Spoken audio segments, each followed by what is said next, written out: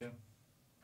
Right now? Oh, hi, and welcome to the first ever episode of Bibliophilia. My name is Becca Chavez, and I'm here with Scott Bergstrom, the author of The Cruelty. Hello, everyone. Um, Bibliophilia is a podcast and radio show about books, the people who write them, and the ideas that they contain. Our first episode is about Lolita, Vladimir Nabokov's most famous novel, probably his best novel, I would say. His classic and horrifying novel uh, that was originally published uh, in the United States, at least, in 1958. Yeah, but before that was in Paris because they couldn't they Exactly. couldn't publish it in the United States because it was too controversial. Um, It's actually kind of an interesting thing about that. Um, so he finished the book in 1953. It took him five years to write. He was originally going to publish it under a pseudonym, um, but then it was uh, he finally sold it to a French publisher of uh, pornographic novels, and it was first published by this porno publishing house in 1955. And I know that was kind of a problem for him because he wrote an essay called On a Book Entitled Lolita, and he discusses like the difference between pornography and what he's written. And he's very clear that pornography is let me see if I can find this quote, but um, pornography is about finding the titillating parts essentially. Pornography is not about what's in between. And Lolita is very much about what's in between because there are really no I mean there's no real sex scenes in Lolita are there? No, there's not. There's not any sex scenes, but there is a lot of psychological horror, and uh, I think one of the things that we need to uh, say right away is that this book has maybe the most cultural baggage of any book out there. Um, what were you uh, saying before, Becca? There was a quote from Lana Del Rey about Lolita. Yeah, I think Lana Del Rey she actually has a whole um, album which is kind of Lolita themed, and then she said that she reads it like once a year because she thinks it's such a great love story. And there's A love it's just story. like there's no way like if you're reading it once a year, there's no way that you could think this was a love think- story. I have no idea. I'm not a big Lana Del Rey fan. I mean, Sorry. the only way you could think this book was a love story is literally if you've never read the book. Yeah. Uh, I, if this is a love story, then Friday the 13th is a movie about a misunderstood kid who's just trying to make friends. You know, I But mean, it's like so common that people think this is. I mean, it, I also found it on a BuzzFeed list of books you should read if it's complicated this Valentine's Day, and one of them was Lolita. Like, there's. I mean, why would that be a book that you would? It's not complicated. guess it- it's I- not complicated. I guess maybe you should, you know, it might be a helpful book if, you know, you are a 40 year old male who is uh, continually raping a 12 year old girl. Then I suppose that kind of complexity would be addressed in. That's I, that's not complex.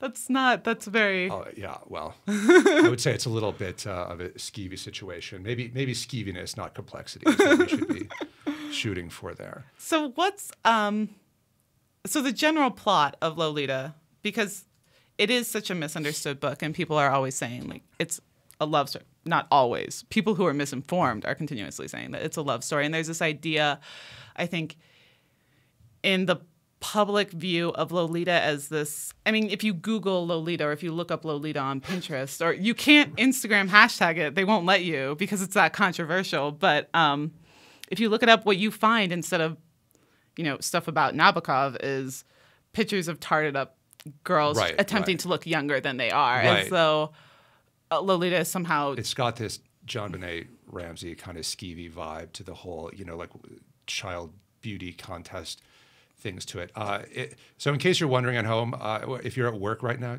do not Google Lolita. Yeah, be yeah for sure. definitely You'll end up in Guantanamo Bay with a barcode tattooed on your neck. Um, no, it's uh, it's actually you know the interesting thing about the book, and you know it's interesting that the that the author Nabokov you know addresses this right away. That he says if you're if you're reading this, and he says this right in the beginning, if you're reading this to get you know salacious uh, titillation and pornography, you're going to be very disappointed because there's not uh, there's not any sort of descriptive sex scenes at all in the book. That said, uh, I find that it is there are there's a lot of sexual acts that are implied and uh, they are horrifying to behold. Um, despite the controversial nature of the book and certainly of the subject matter, uh, it sort of became an instant uh, classic, though, didn't it, Becca? Yeah, and I think that's really rests on the strength of the language. Right. Because it's it's not an easy book to read, which I think kind of lends itself to that idea that it is so titillating and it, it, it kind of helps with the mystique because people aren't actually getting through it, I don't think, because it is yeah, absolutely. It, it's difficult. And I know even for my copy, just about every other page I was writing down a definition of something that I had never heard of before. Yeah, it definitely helps. I, you know, I read it originally in college, and it was not. This was college in the mid '90s, and I had a, I think it was for a women's studies class that I read this. So it was, we shall say, not well received uh, by the professor. Um, that said, I so I reread it for the first time uh, in preparation for this uh, for this upcoming podcast of ours, and. Um, I read the uh, Amazon Kindle version, the annotated version, which was incredibly helpful because they had um, uh, lots of footnotes in there. So anytime that Humbert Humbert, who's the protagonist of, of the book, protagonist in air quotes there, uh, anytime that he lapses into French or Italian or Spanish or German, which he does with some regularity, uh, there's a little footnote there to tell you. You just click on it and it tells you what it means or what he's alluding to, which is extremely helpful for sort of an ignoramus like me who doesn't speak. I know there's also an annotated version that you can get in print for, and I, have seen it at like the Tattered Cover Barnes and Noble a couple of times. That you can get a fully annotated version, just like right, you can right. with uh, just about any other book. But you know what's what's interesting is that the whole theme of the book, or, or, or the whole style in which it's written, is that well, first of all, it's one of these novels within a novel. Uh, it's supposed to be sort of Humbert's Humbert's. Um, confession or autobiography published posthumously after uh, after he dies. Did I get that right? Um, or while he's in prison it's awaiting supposed to trial. Be published after Lolita dies. Right after Lolita dies, but he's awaiting trial. Yeah, he's and, hoping. Oh, and but he does die. He dies shortly before Lolita, I believe. Right, so. right. So the timeline's a little confusing, but in, in any case, the device is that it's set up within this framework so that he's the words that you're reading are not Nabokov's words, so to speak. They're Humbert Humbert's words. And he is this incredibly erudite, lofty intellectual, you know, a speaker of many different languages. He's a professor of literature. He's old world European. And he he, he does a lot with wordplay and puns, and at times they're actually quite funny, like laugh out loud funny.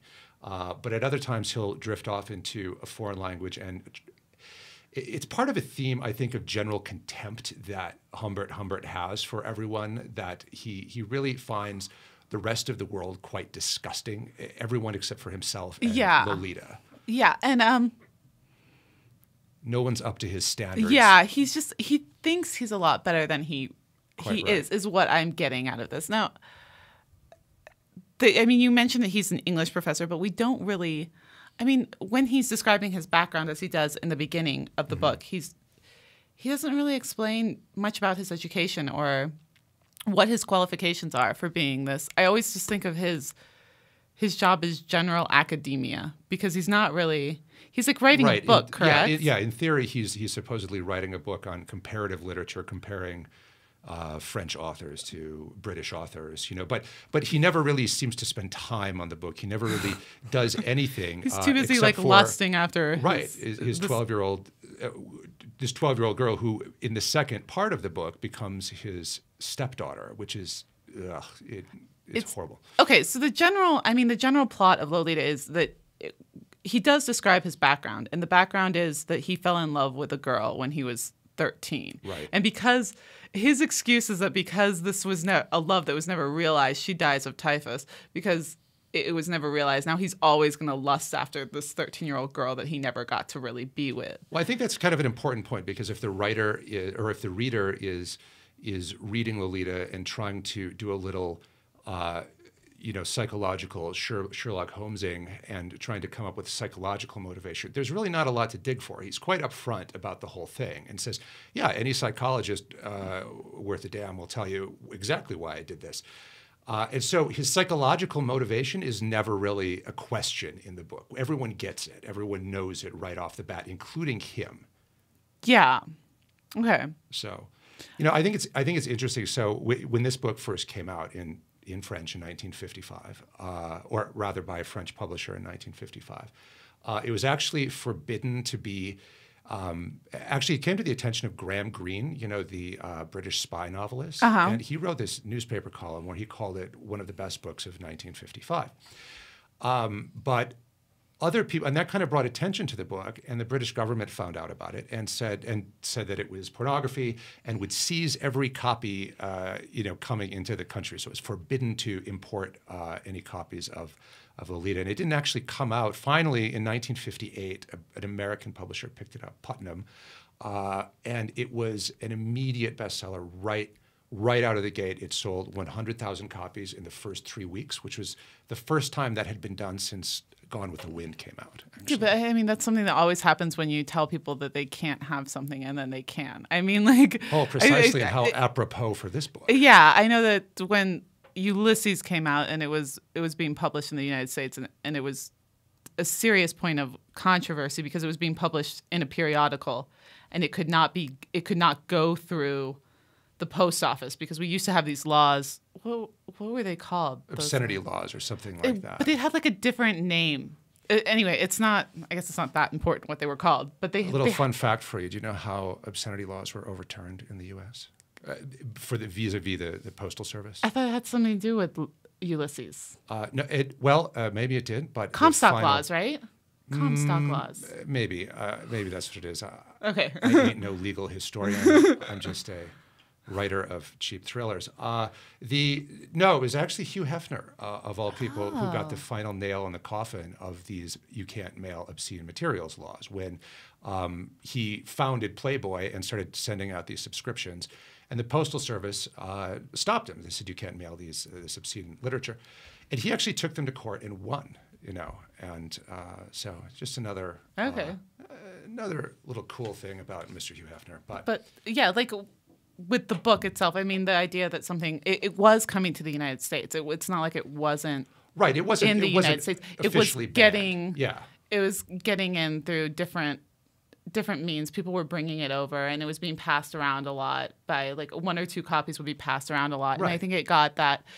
Of course, it's going to sell a lot if you're hearing about something that you couldn't have. I mean, the same thing happened with Lady Chatterley's Lover, which I wouldn't argue is like an astounding book on any level, but because it's got those n- naughty bits in it, like Naughty that's bits. where it it really picks up steam, and that's really what makes people want to read it. More And- the controversy than the the book itself, and I think that's true with Lolita. Exactly, and you know, and keep in mind too that uh, Nabokov was already a very, very highly regarded uh, author, and so here comes this guy of incredible literary stature. You know, uh, say you know Martin Amis level uh, of of of literary merit, and suddenly you find, oh, there's a there's a book that that we can't read of his because it's supposedly obscene. Of course, you're going to read that. Of course, it's going to be a bestseller.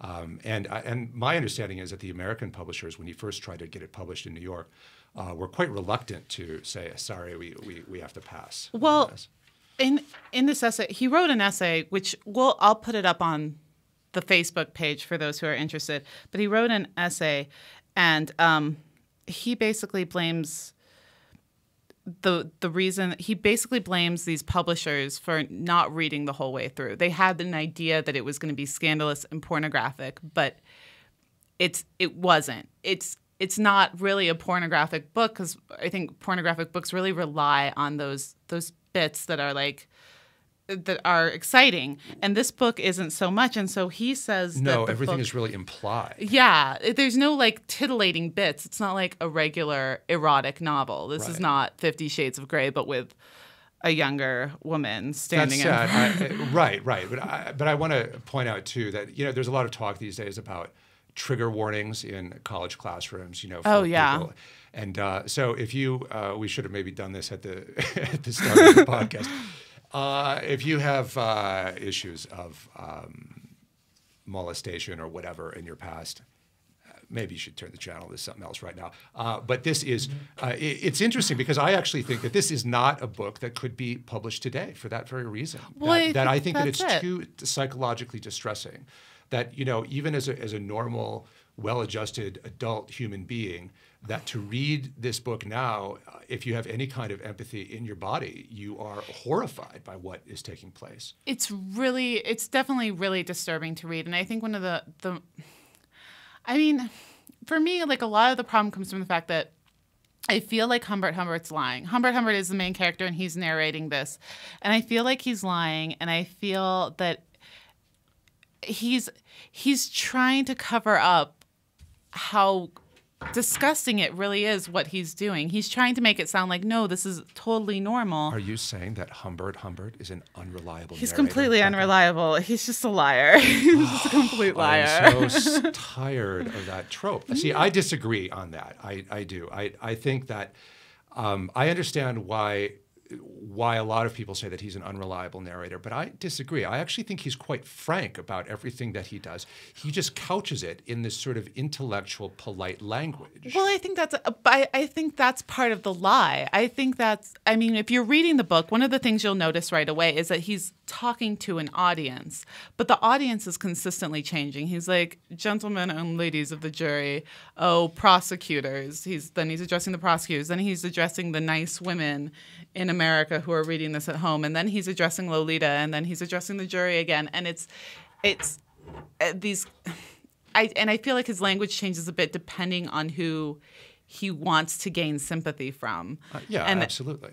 I do think that in a way that's that's a definite lie. That's a he's not telling the truth. He's not. He doesn't It's a come out lie, like I said. There's no titillating parts, and and I'm not saying that there should be because obviously it's a novel about a man who repeatedly rapes a 12 year old girl, but at the same time, like.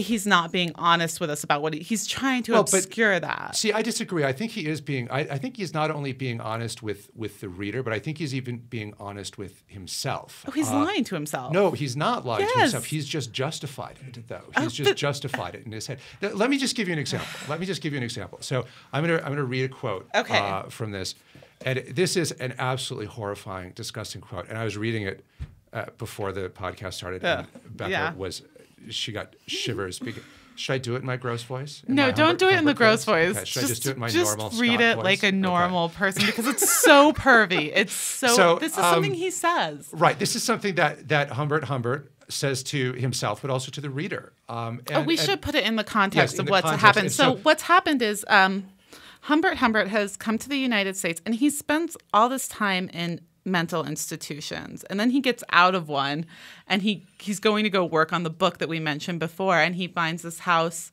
in New England where this woman Ramsdale. Yeah. Um, Charlotte Haze is living with her young daughter.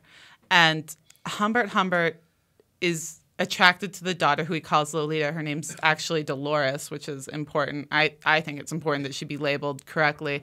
But he falls in love with Dolores slash Lolita. And he's trying to figure out a way to be with her.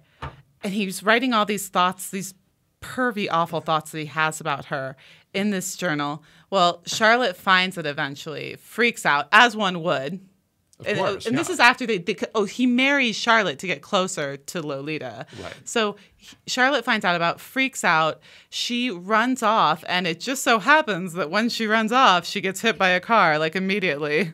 right, uh, right. Well, but but see, I, I even think that that's kind of an important idea. So there's all of these sort of for Humbert Humbert these happy coincidences, as he calls them, that that that that happen, and and it reflects what I regard. And and see, here we really get to this uh, core of what makes this maybe the perfect modernist novel, which is you know one of the ideas in modernist literature, and by modernist I mean 20th century literature from say James Joyce through anything written into the 1960s, and and it's the relationship of human a human's mind to the world, and whether or not our thoughts and ideas reflect actual reality, right? And in Humbert's case, it absolutely does not at all reflect reality. Um, and in fact, though, he seems to think um, that not only does it reflect reality, uh, but that reality conforms to the nature of his thoughts. And so, by when when Charlotte runs off across the street, for example, and gets hit by a car, he says he he gives some line in there about how this was very. Um, it was very prescient on his part to have uh, have written this diary so that she could discover it, so that she could be horrified and run out across the street. What a genius he is for doing that! and it's you know, and it's absolutely terrible because he has no regard for anyone else in Yeah. the world, and he doesn't even have regard for Lolita, who he holds as kind of an idea. I think you know, Yeah. it's the idea of the girl, and the reality of her, of her tortured, awful existence, is really ignored by him. And I uh, think throughout. that's, you know, I mean, okay, so after the, Charlotte gets Getting off. killed, she he does take Lolita, and he does it in a very twisted way. And you're right, but he he takes her to this hotel and rapes her, and there's no pleasant way to say that because there's, I mean, he keeps saying that it's not really. Lolita says it twice in the book. She says, You raped me. But he never says, he, he always tries to play it off like, Oh, she wanted me. This is something that was supposed right. to happen. Yeah, exactly. This is fate. And so, um, what happens is he, he takes her on this cross country trip because Right, obviously you cannot just sit in hotel rooms raping a person repeatedly. Someone's going to eventually get wise to that Although that's know. essentially what he does. He just does it in different locations. At different every day. locations every single day. But um, at one point during the trip, he says this quote that you're gonna, Read. th- where he's he's what he's So kind he, of he at the end plots to take her across huh? to yeah. I mean, you know, he's absolutely insane, and he's a like I said, he's a he's a horrible person. As I was taking notes on this book, I would I would write quotes in my little margin notes. Ninety percent of them are like gross, disgusting, horrifying, you know, things like that. But here's a passage where he was going to take her across the border into Mexico for the purposes of having a child with her. And here's why. The thought that with patience and luck, I might have her produce eventually a nymphette with my blood in her exquisite veins, a Lolita Second, who would be eight or nine around 1960, when I would still be dans la force de l'âge. Indeed, the telescopy of my mind, or unmind, was strong enough to distinguish in the remoteness of time a vieillard encore vert, or was it green rot, bizarre, tender, salivating Dr. Humbert, practicing on supremely lovely Lolita III the art of being a granddad. I know it's Oh, and see, like, but that's like what Yeah. makes him so unreliable. That there's this complete disconnect between reality and what he's living, and I think that's. but he's telling you exactly what he's going to do. But he just is.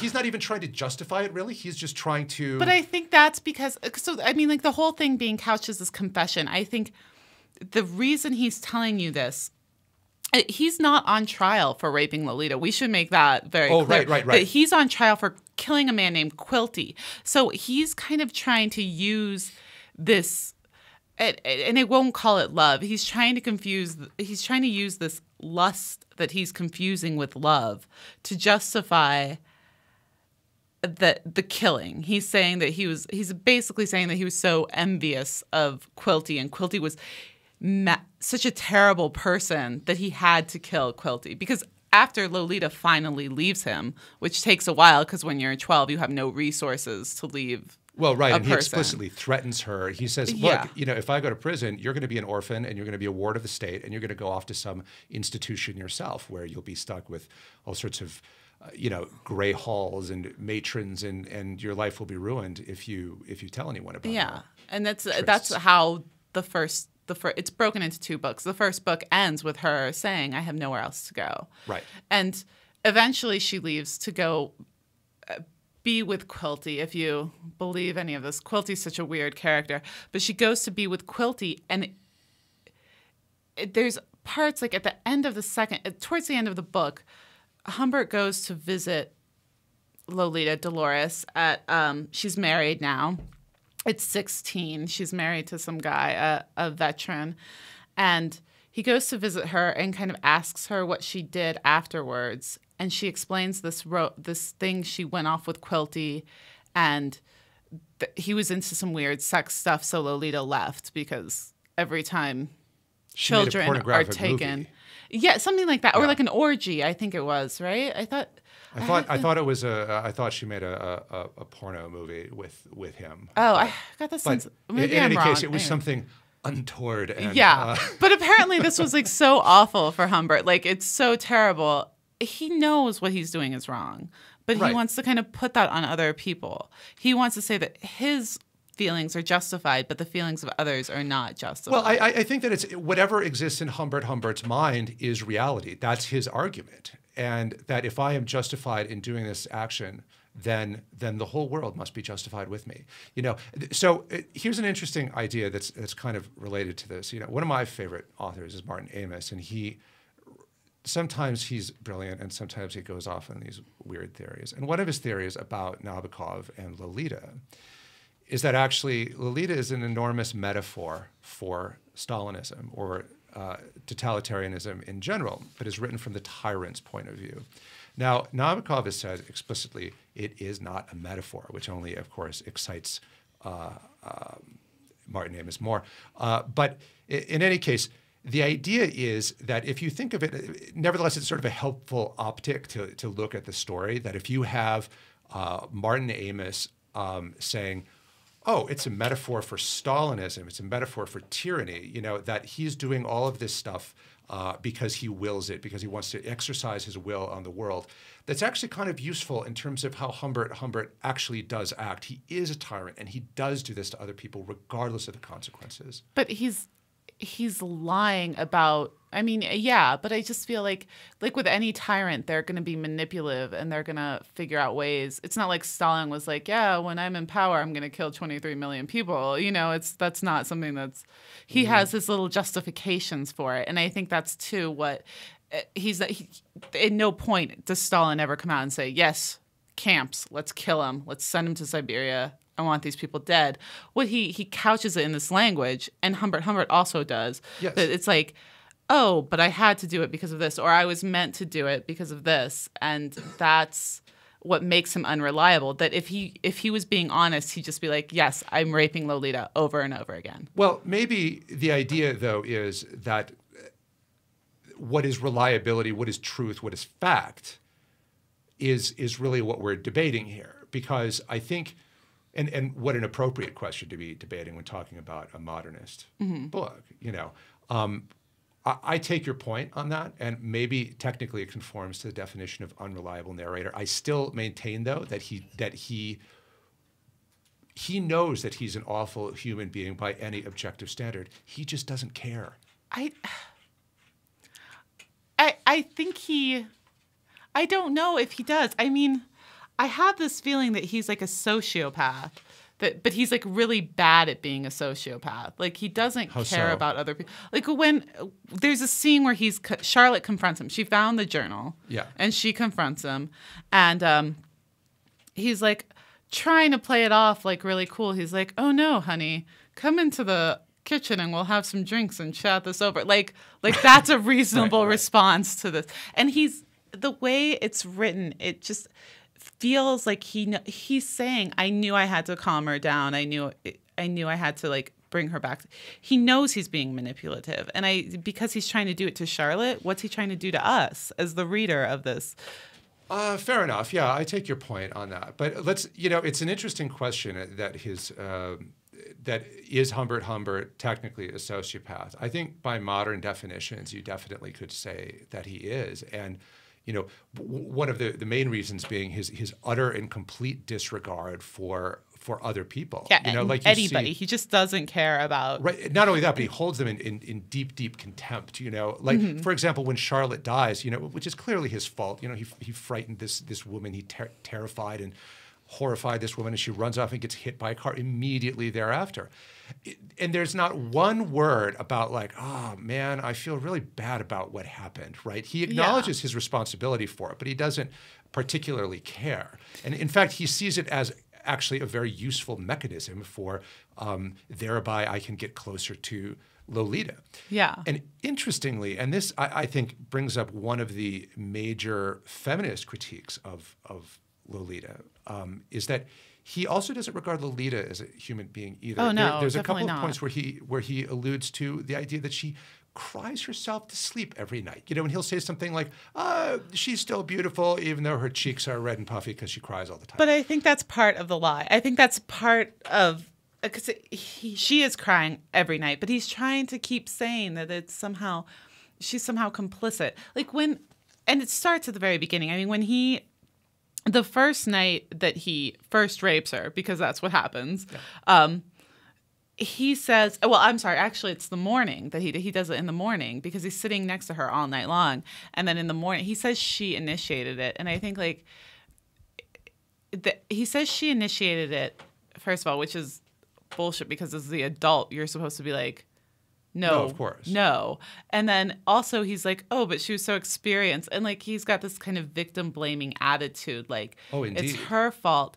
But then when you read this description of her, and I'm going to try and find it, but um, when you read this description of her, like afterwards, she's sitting down in the um, lobby of the hotel. And the way he describes her, Is this the Oh. one? Oh, go ahead. here we go. Well, let me see. No, I'm gonna have to. Is this the one where he has all the stats and figures on on her appearance? No. Can I Um, just bring that up real quick while you're looking for that? Oh, yeah, That- go so ahead. one of the, there's this passage in there where before Charlotte, which is Dolores's mother, uh, before she dies, he discovers this sort of journal that she keeps about her daughter's development, and in it, you know, all of these things are sort of measured her height, the I mean, down to these minutiae like the the the girth of her thighs, things like that. And so he has all this information and he recites it to the reader, uh, you know, her height, her eye color, her the thickness of her thighs.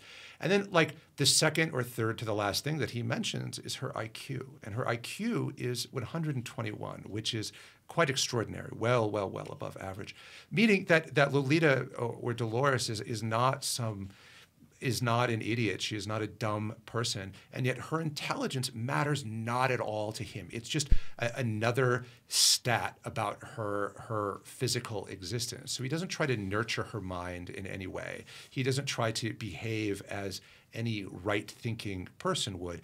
To her, to, to him, she is just an she's an object. She's a she's a thing, and and really more of an epistemological thing, like a like a ghost that exists in his imagination, even though she's tragically real. yeah, and he's ignores like the reality of what he's doing. What he's doing is psychologically destroying her, and she is really smart. And later in the book, you'll see that she's not performing well in school, and she's they do stop for a while, and she goes to the school, and she's not performing well, and she's just kind of destroyed this. I mean, she's never, she's, especially when she gets married and, and he meets her later. It's not like you're not seeing an an intellectual person. You're not seeing someone who's using their mind to the fullest of their ability. And I think it's because she's so damaged in this way. And um, so I found the spots oh, where Oh, he's like, because he just he does he has a complete disregard for her. So he says that you know they they copulated their relationship and oh it was just what he had always imagined it would be. And and then he's describing her down at sitting in the lobby of the hotel and he's saying that she has a, a purplish spot on her naked ne- neck a rosy rash around her swollen lips. I mean that's of that's the result of a violent thing that he's completely ignoring the violence of this action. And later she start she started complaining of pains. She said she could not sit said i had torn something inside of her. And like he just he's just like no we're gonna keep going. Yeah, it's it's it's absolutely appalling. I- oh the worst. Oh goodness. And that's the worst one is when th- it's after she's stopped at the school and they're moving again because he's trying to get away from Quilty, who's following them.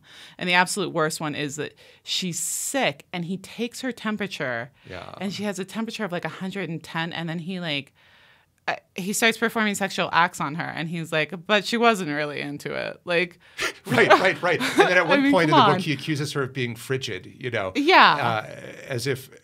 Anyway, uh, there's there's one more quote. Can I just Yeah, go Just ahead. Getting down to the the horror of it. Uh, So this is shortly after he um, rapes her for the first time in the hotel, which is called the hotel is called the Enchanted Hunter.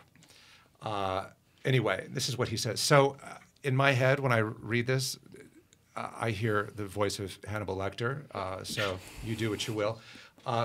How sweet it was to bring that coffee to her and then deny it until she had done her morning duty.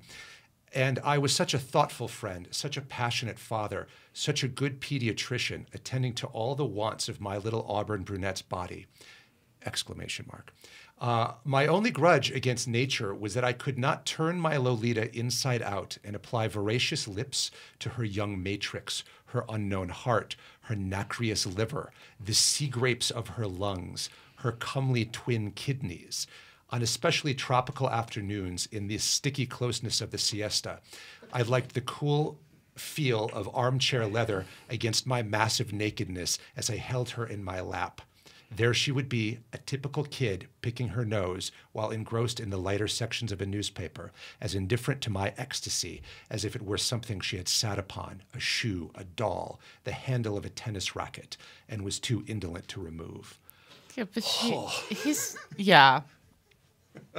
And that comes up again and again. I think that's something that comes up again and because even like the first thing that happens it, before he actually has sex with her, there's this scene where he's in the house and she's just hanging out on a chair and he happens to be on the chair, but he Right. he ends up getting off and she's just completely oblivious, which I think is um an important point to bring up because in the in like the pol- collective public idea of what Lolita is, there's this idea that she's kind of tardy, I guess. Like this Right. idea that she's and in some ways Purposefully, purposefully being sexual. Yes, and Right. and Humbert himself blames her in the beginning. He's like, "Oh yeah, she she wanted it," um, and I think there's something to like, as a child, she's 12 years old and she's Right. going to be doing some things that are a little bit.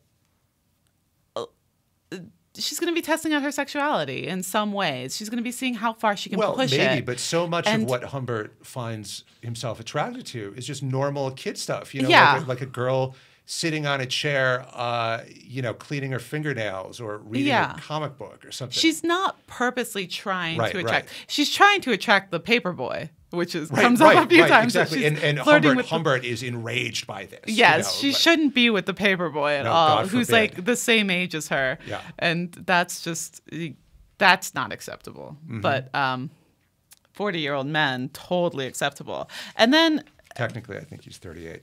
oh, ooh, well that makes it better. Yeah. there's kind of the issue because he uses this teenage petulance in this way to like to justify a lot of what he does. And a lot of it like he talks about how charlotte doesn't really care about lolita which is an obvious lie because she's trying i mean when she finds out what he's planning on doing she's going to take her daughter as far away from him as humanly possible. But Right. Well, you had remarked once. Uh, I, I want to go back to the sociopath theme for a second, but you had regarded. You said once uh, to me that he seems unable to control people the way other sociopaths would. What do you Yeah. What do you mean by that? I mean, like I think there's an idea of sociopaths. They're kind of charismatic and charming, and Humbert has this idea of himself that he's charismatic and charming. He, Right. he repeatedly says he's got movie star looks, and Lolita's so lucky to be with him. right. Like, right. Right. Right. um, yeah. he's got this, but he's just. But I think the rest of the world sees him as he truly is, which is this 38 year old man who's kind Lecherous. of pathetic and Yeah. lecherous and who's obviously mentally unstable right. and yeah I, I think he's really bad and every time I, I see him trying to control someone it just doesn't work it just No, it, it doesn't work, and I, you know it's interesting that you that you have this idea too because it you know you you had said that he's unable to actively murder Charlotte. Yes. Right. You know, like there's a scene where they go to a beach. He and Charlotte, which is uh, Dolores' mom, they they go to um, a beach, and he he has this fantasy. He, in fact, he works out this perfect plan to drown her, and he can't do it. He can't bring himself to do it. But it's not. He's not motivated Yeah. out of. He doesn't not do it because he feels guilt towards it. It's just for some reason he feels um, inept, uh, too incompetent, too. Uh, he's impotent, got a lot of issues impotent. Yeah. like and, and i think that's part of the reason that he's so attracted to nymphets is because nymphets as he calls them is because they're young and they can be easily controlled and lolita especially can be easily manipulated Well, even there, though, technically speaking, he fails because he has this whole plan worked out for when he gets her into the hotel to Oh, drug yeah. her and then have sex with her while she's drugged and unconscious. But the drugs don't work, and instead she's merely groggy and sleepy. And he writes about lying next to her and feeling the warmth from her body and like sort of moving a hand to touch her.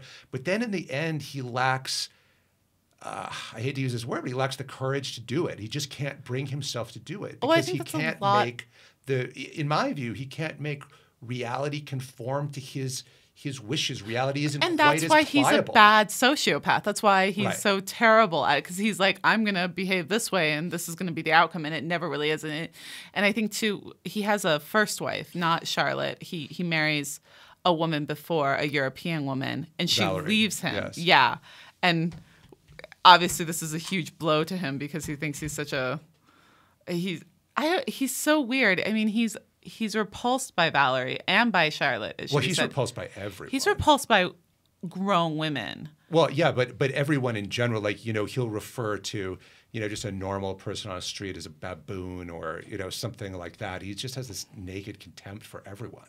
Do you think it's like intellectual snobbery that it, he thinks I he's think so much partly, smarter? Yeah, but I mean, remember, in his mind, he's the only person that really exists in the world. You know, so that's how I see it, at least. But um, he's just so. Yeah, he's not a good sociopath.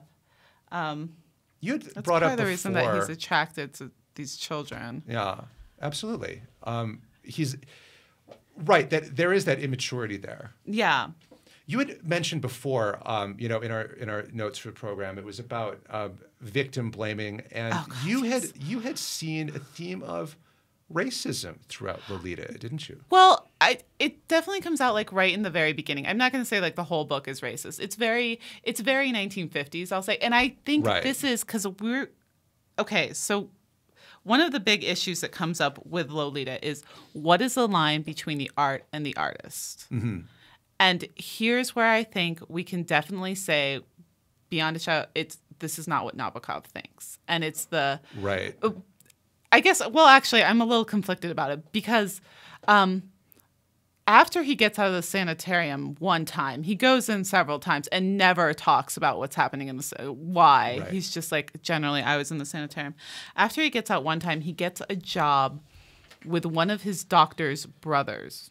So his doctor has a brother who's doing research on Inuit girls, and he goes up to do the research. Yeah. yeah. And he talks about how those girls can never be nymphets. And it really doesn't it doesn't sit well with me on like a, n- a number of levels. He he just talks about like how their features are not nymphet features. And it it does a number of things. First of all, it reinforces this western ideal of beauty, which um right. for a while there was something that I thought like that's Nabokov trying to put something on Humbert Humbert because in I mean like in my world and in your I don't think attraction is based on race. I mean obviously there are some people who are more attractive Right. than others in like certain ways like chiseled cheekbones and Well, nice abs And, and but and one has one's own preferences. well. yeah, but I Right. think that most people like when they get to know a person, that kind of stuff kind of fades away. So it's a very, very Yeah. racist view. And I thought at first I was thinking it would be easier for him because he obviously is looking for some kind of control. And it would be easier for him to take a young child of color, like a young Inuit girl, who everyone's like, oh, they're an other. And we see this still today. Like, I found um, one website, and I can't, it was like University of Minnesota, they were doing rape statistics, that women of color are less likely to feel that they're being believed when they go in to um, report a rape, and they're less likely to feel that people will believe them. Like I if see. they say, because there's like, like, and I hated that this book reinforced the idea that some people just weren't pretty enough to be raped in this way. Like, it reinforces this way that, like, and, and that's such a weird thing to That- say. That is a very weird thing to but say. it, it, it, but I think that like it, it's it reinforces this idea that somehow gets stuck in the collective mind, and then you know when that, a, a sure. young woman of color goes into um, a police station, it's like, oh, I got raped. That's still lingering there. Well, I think that we would. So I don't. I don't find race to be a, a, a major or even really a minor theme in in Oh, Lolita. No, I don't think it's I like. mean, you, uh, okay. I just found this very that are- disturbing. true, and, and as well you should. And I Um, think that one of the things that, that like at first I was because like I said at first this would be a sign because Humbert Humbert would want to go after the most vulnerable, but then once I thought about it, like the Inuit girls at that time were probably surrounded by a very strong tribe, and they were surrounded by a lot of people. So it wasn't so much. I mean, they had a close knit family, which is something Lolita lacks. Her father's dead. Her mother ends up dying. which She has nothing. Humbert explicitly Yeah. looks for. He exploits Yeah. that. And Yeah. so I was thinking that might be it. So it would still fall in line. And then the line between the artist and the art is blurred once again. So, well, I, I, I happen to, I mean, this is a, a time when being a member of the KKK was about as remarkable as being a member of the Chamber of Commerce or something Yeah. like that. You know, this is not, um, you know, there was definitely but I feel that's racial more- context. Yeah. I, that said, I, I I think we would be remiss if we didn't bring up what I would regard as being much more overt, eh, which is class uh, in in in this book that he regards um, himself as being of this of this caste, if you will, uh, that's that's higher than other people, including Lolita's family. You know, Lolita's mother. He, uh, you know, her mother. It, it has to be said. Charlotte is is quite a sympathetic character in this. You know, she's a widower, or she's a widow. Um, you know, with a with a, a daughter about to enter her teenage years. She's um, she has sort of I want to say uh, bourgeois pretensions. You know, she she likes to pretend to speak French to Humbert. Yeah. Uh, she you know she's interested in She wants to in travel. art. In, a, and she wants to travel. You know, and so here's a woman who's who's very much like any middle many middle class American women. You know, um, especially of the 1950s. It just was not available to her to to travel or to experience the things that she wanted out of life. And along comes this man, Humbert Humbert, who seems to represent all that she's wanted, all that she's missed, this true intellectual, you know, who speaks French and knows about art and literature. And she falls in love with him. And then she finds out that he's preying on her daughter.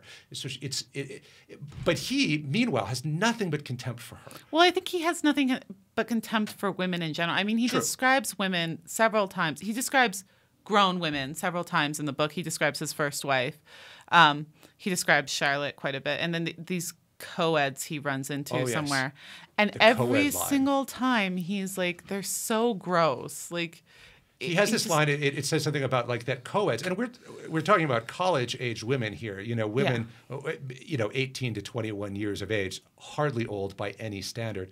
And he says that they are uh, like the tombs in which the the bodies of nymphets are buried. You know, it's just it, it's horrible. He's yeah, and so I think there's a repulsion on that. I wouldn't say it's a caste. I'd say when we're talking about he, he's definitely hating on like grown-ups. He does. Yeah, he hates on, He uh, doesn't. women. He Yeah. doesn't like grown-ups in general, and they do kind of, in some ways, attack him.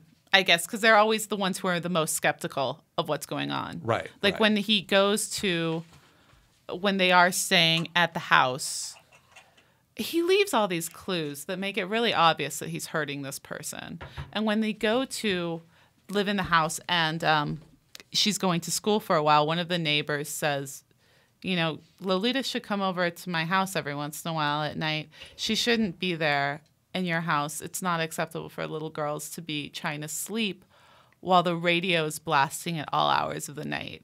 And I just think, Yeah. I mean, he never says, "Oh, I used to play the radio so that it would drown out No, her people screaming." know what's going yeah, on. people know kind of what's going on, Right. and she's, yeah, and that, I think the whole part where he's got her going to school is really like where you start to see the real damage that's happening. Oh, for sure. A lot of it, and it is that line with the neighbors. At one point, she brings over a friend of hers and like kind of offers the friend up Right. Right. as like somebody he could rape instead. Like, hey, this is someone you can. And the, the friend's kind of into it in that way that, like, you know, I, I think there are some girls that are just clueless and don't understand the true implications, which is how you get into these messes. And it, adults have to say no. Me adults, specifically, is that what you're? no, No. no, no. But like, this is this is How how, you end up these sort with of with situations yes. like this, and Agreed. because, the, I mean, they just don't understand the. And that's victim blamey. Like he he says that Lolita starts it, right. which may or may not be true.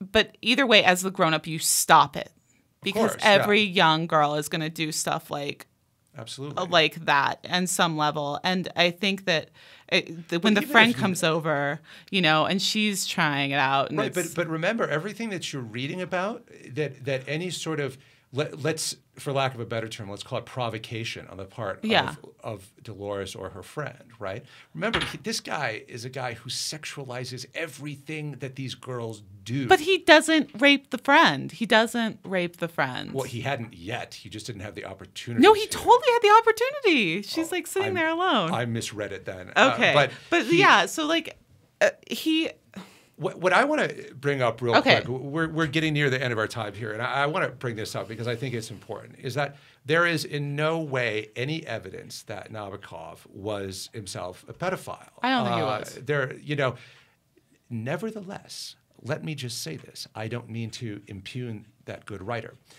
However, when you read, let's say, a thriller like a Tom Clancy book or Mm-hmm. something like that, one is impressed by their technical knowledge of stuff that goes on. And you think, boy, they really did their research. I will tell you this that when you read this book, you have what you can only take to be the mind of quite an expert on this topic of what it's like to be a pedophile. And Okay. it is that is what's horrifying. But I will say this that I have met so many, especially young young women who have read the Bell Jar and been like, "This has a meaning for me." Like you read books and you have, but I have never ever once heard a pedophile be like. Oh, if you really want to understand me, you've got to read Lolita. Like, that's not something that happens on trial. Like, there's no guy who's been on trial and they're like, we're trying to understand how pedophiles work. And he's like, yeah, just read Lolita. Well, I don't know. I think you know uh, that this book might well be a cure for it because it is. I mean, it is so horrifying to read the psychological descriptions of the horror that he that he puts her through and how very self he just doesn't self-centered his, his Yeah. actions are. I think towards the end, like he does realize what he's done, which is Yeah. why he goes to kill Quilty because Right. he's he's finally like stuck with this realization and he wants to blame someone and he always consistently throughout the book blames other people. So he goes to blame Quilty and goes to kill Quilty. And that's how he's in this mess. And so he's trying to I mean as the book goes on like in the in the beginning he's like, "Oh yeah, I'm totally to rape this girl and I'm to drug her and rape her." And then he's like, "Oh, we're in love," when clearly they're not in love. And then when she's gone, he's Right. chasing her down. But it's like years after when he goes to see her as um, this married woman that he's finally like, oh crap, I ruined a person. Like I had this person and I completely destroyed everything that was special in them and killed. And he wants to blame someone. Instead of blaming himself, he goes and blames Quilty. Which is well, that's one of the the themes. Uh, when I was reading about the analysis of this book and what other critics have to say about it, they point this out. So this isn't my original contribution to this thinking, but they say that there's this concept of the doppelganger, which comes up again and again in writers like Nabokov, Kafka, other writers uh, of the era. And it's the idea of a, of a doppelganger, which is, or which is to say, a replica of oneself, who is another person, right? Who looks exactly the same, who acts in exactly the same way. And so there's this idea of him when he goes after Quilty to kill him, that he's actually going after himself to to, to kill himself, you know, Yeah. as punishment for that. And I'm not saying one way or the other. I'm saying that theory is out there, and uh, it it it's not completely without merit. Yeah. And I must say, as far as pedophiles go, Quilty's pretty likable in this weird. I know that sounds awful, but because first of all, I'm not even sure if Right. Quilty was actually raping Lolita Right, I because we I can't trust we can't I can't trust Humbert. testimony so. I, Yeah. I, I think Humbert wanted to blame someone and he blamed Quilty, but Quilty could have been just rescuing her. But he's he's actually I mean, even when he's dying, there's this even when he's dying, he's like making little jokes and he's running around the house and playing the piano and Humbert's repeatedly shooting him and he's like, haha, you're killing me Right, now. right. Well, again, well, again, this goes back to his complete impotence as a as a as an actor in the in the objective world that's out there. You know, Uh, yeah. That, that you know, just as he couldn't kill Charlotte, just as he couldn't sleep with Lolita without drugging her, he can't kill Quilty either. You know, he's just this incompetent, fade, dilettante, intellectual fop that can't do anything. Uh, that can't do anything right. Yeah. You know, um, even though he thinks he's the greatest thing since sliced bread. So uh, I think we're reaching the. do. And I want to say, one more thing because there's one line in Lolita that I think kind of sums up a lot of it. I'm going to let you read this one. Because And this is what he says to the he's talking to the audience. Imagine me. I shall not exist if you do not imagine me. And I think that's really it. Like you- Exactly. you, you can't you can't I think that's that's something that separates Nabokov from Humbert Humbert. He's he's saying that we have to imagine this horror that exists within all of us, and most of us don't. Obviously, aren't going to explore it to the depth that Nabokov, but it exists out there, and maybe there's a part of it that like kind of exists in all of us, but the rest of us are like, that's ridiculous and that's absurd. But but he's letting it live. Like Humbert's like just feeding this. Well, perversion. maybe it's that, or maybe it's this idea that you're not going to get my side of the story. All you're going to see are these plain, boring old facts, you know, and you're not going to get my side of the story unless you imagine it. I, I have to say, I, I, you know, one of the concluding things I want to say about this is that, uh, you know, as much as I've kind of beaten the grossness of, of this book or many of the passages to death, it is a tremendously beautifully written book. It is and great. The the language and, and and not knowing what's true and not true. And sometimes, as I said before, it is actually laugh out loud funny, and that's what's horrifying about it. I think yeah, I think it's a book that I want to reread, but I don't want to reread it. Like I don't want to go through the emotional toil of rereading it, but I want to read the language again, and I want to read uh, the way he puts things together. And Nabokov said in this little excuse that he has for it, which is so great. He says, my private tragedy, which cannot and indeed should not be anybody's concern, is that I had to abandon my natural idiom, my untrammeled, rich, and infinitely docile Russian tongue for a second rate brand of English, devoid of any of these apparatuses the baffling mirror, the black velvet backdrop, the implied association and traditions, which the native illusionist, frack tails flying, can magically use to transcend the heritage in his own way. But he did it. I mean, he did that.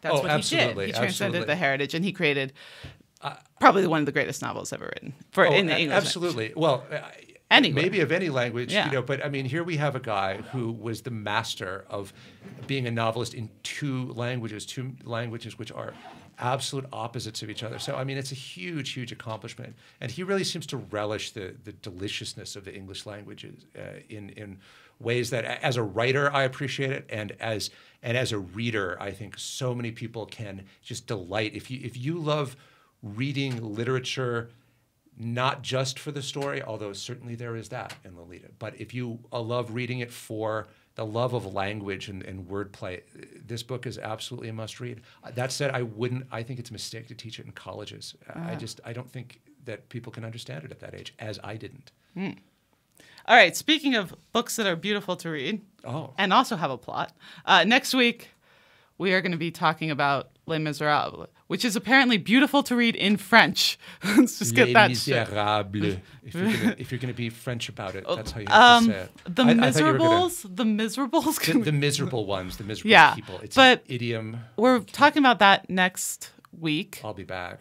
Scott will be back here next week, and then the week after that, we're talking about The Monk by Matthew Lewis, and there will be somebody else here, not you. My Kiyomi is coming, and um, so just so everyone knows, they can find us on Facebook at facebook.com/slash bibliophilia podcast.